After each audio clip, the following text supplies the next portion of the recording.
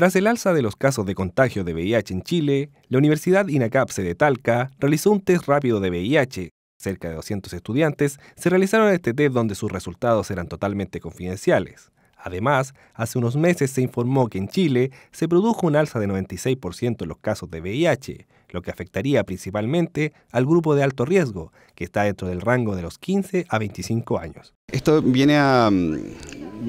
Lo que nosotros buscamos es aterrizar una política pública que tiene como base los tres pilares que ustedes están hablando, que es de ONUCIA. Lo que nosotros estamos acá buscando que la población tenga acceso a la pesquisa y inicialmente que logren saber si tienen o no tienen VIH, que es nuestro objetivo inicial. Eh, si lo llevamos también a lo que nosotros o lo queremos relacionar con las palabras que se hablan últimamente respecto al incremento de los casos en nuestro país de VIH, sí tiene relación porque últimamente, o por lo menos si nosotros hablamos de los últimos tres años, hemos tenido un incremento que ha sido constante en los casos de VIH.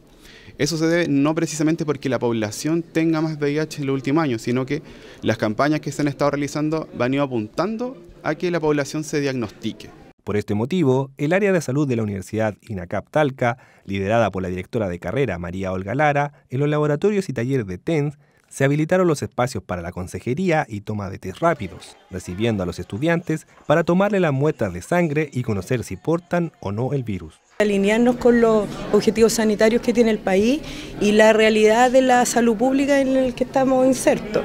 Y, eh, y dentro de esto, dentro de la población objeto eh, del que digamos eh, se contagia más con VIH es la, la población joven que son nuestros estudiantes. La directora de carrera comentó que esta es la primera actividad del año y se continuará haciéndolo en el resto de universidades hay todo un equipo trabajando, Talaceremi, que ve todo el tema de prevención y el hospital de Talca, que junto al equipo de servicio de salud del Maule y estudiantes de tecnología médica, con sus docentes, ven todo lo que es pesquisa.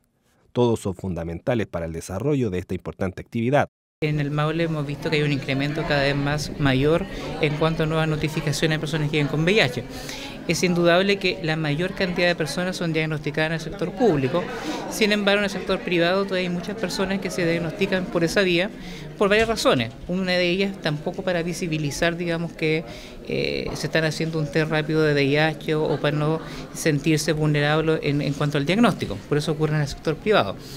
Pero en cuanto a la estadística global, nosotros vemos con preocupación que cada día va aumentando más el tema de las nuevas personas que están viviendo con VIH. Y eso a nosotros nos genera una gran preocupación como ONG porque hemos visto que las políticas públicas solo se han centrado en determinada estrategia sin que haya una campaña permanente de prevención. El testeo, si bien es cierto, es un buen instrumento porque nos permite diagnosticar a las personas y de esa manera pueden acceder a un diagnóstico, a un, diagnóstico y a un tratamiento oportuno. No es prevención. Y al no hacer prevención, nosotros estamos eh, actuando de forma reactiva frente a un problema de salud pública que es mucho más complejo y que como país todavía estamos muy al debe de poder superar. La actividad además contó con la participación y colaboración de estudiantes del área de salud, quienes montaron distintos stands para entregar información sobre prevención, uso del condón y la importancia de realizarse exámenes preventivos.